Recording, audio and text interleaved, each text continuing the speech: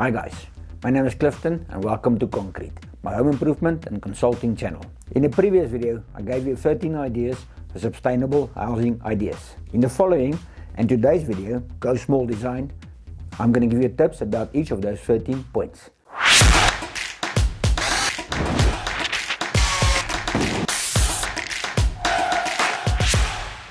If this is your first time to my channel, please watch the full video and remember to subscribe and click on the notification bell. Number 1. Efficient layout. The size, the shape and the orientation of your house plays a big role, including the interior and exterior design of your house. Passive house is a standard for design and construction with one aim, to reduce the energy needs of a home so much as possible. Number 2. Use less resources. Tiny houses, whatever material is used in the process of construction, require less material to build.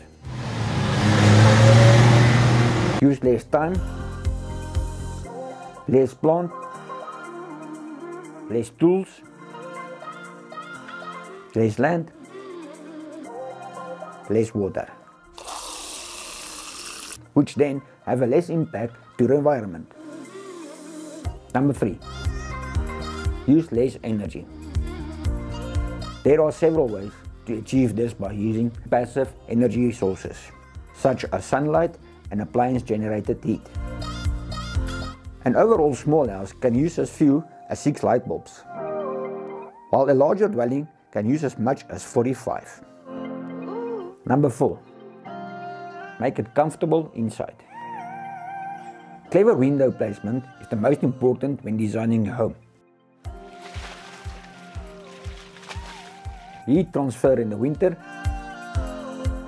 and a cool breeze in the summer.